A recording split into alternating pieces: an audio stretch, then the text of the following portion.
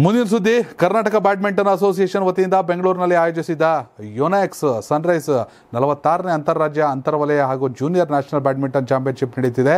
ಐದು ದಿನಗಳ ಕಾಲ ನಡೆಯುವ ಟೂರ್ನಮೆಂಟ್ಗೆ ದೇಶದ ಎಲ್ಲ ರಾಜ್ಯಗಳಿಂದ ಪ್ರತಿಭಾನ್ವಿತ ಬ್ಯಾಡ್ಮಿಂಟನ್ ಆಟಗಾರರು ಭಾಗವಹಿಸಿದ್ದಾರೆ.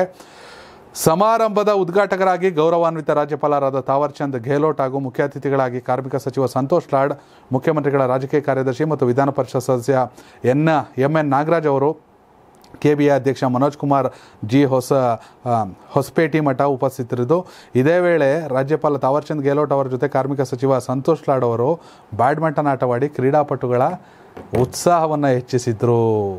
ಎಸ್ ವೀಕ್ಷಕರೇ ಒಂಥರ ಎಷ್ಟೋ ಜನಕ್ಕೆ ವಿಷಯ ಗೊತ್ತಿಲ್ಲ. ಪ್ರೊಫೆಷ್ನಲ್ ಕ್ರಿಕೆಟರ್ ಕೂಡ ಹೌದು, ಸಂತೋಷ್ ಲಾಡ್ ಅವರು. ಸ್ಪೋರ್ಟ್ಸ್ ಅಂದರೆ ತುಂಬ ಆ್ಯಕ್ಟಿವು ಆ ಹಿಂದೆ ಸಾನಿಯಾ ಮಿರ್ಜಾ ಅವ್ರ ಜೊತೆ ಟೆನ್ನಿಸ್ ಎಲ್ಲ ಆಡ್ತಿದ್ರು. ಒಂದು ಉದ್ಘಾಟನಾ ಸಂದರ್ಭದಲ್ಲಿ, ಯಾವುದೋ ಸ್ಪೆಷಲ್ ಮ್ಯಾಚಲ್ಲಿ ಇದೀಗ ಬ್ಯಾಡ್ಮಿಂಟನ್ ಕೂಡ ಆಡಿದ್ದಾರೆ. ಅದು ಗವರ್ನರ್ ಅವರ ಜೊತೆ.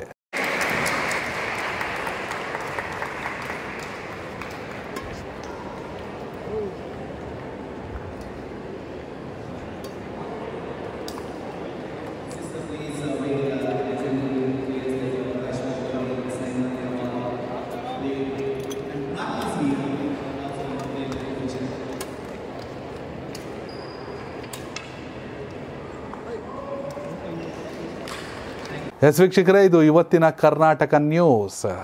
ರಾಜ್ಯದ ವಿವಿಧ ಜಿಲ್ಲೆಗಳ ಸಾಕಷ್ಟು ಸುದ್ದಿಗಳನ್ನು ಕೊಡೋ ಪ್ರಯತ್ನವನ್ನು ಮಾಡಿದ್ದೀವಿ ಏನಾದರೂ ಬದಲಾವಣೆ ಮಾಡ್ಕೋಬೇಕಂದ್ರೆ ದಯವಿಟ್ಟು ತಿಳಿಸಿ. ಧನ್ಯವಾದಗಳು ವೀಕ್ಷಕರೇ, ಕರ್ನಾಟಕ ಟಿವಿ, ಕನ್ನಡಿಗರ ಧ್ವನಿ.